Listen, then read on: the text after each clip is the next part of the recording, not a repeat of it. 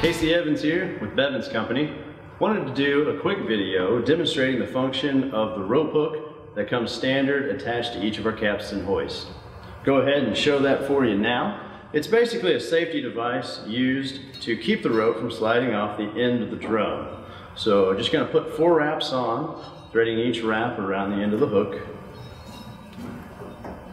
And if we had a load in the air right now, and for any reason this outermost wrap were to try to work in this direction, let's say the operator is at angles to the hoist, and this wrap is coming this way, and it finds its way over the end of the drum.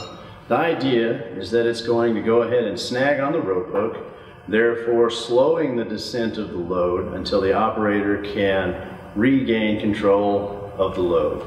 And so it's a safety feature that we certainly want to recommend that everyone leave on their hoist, and that's why we attach one to each unit. If you have any questions or would like more information on anything seen here, please check us out online at bevinsco.com or feel free to give us a call. Thank you.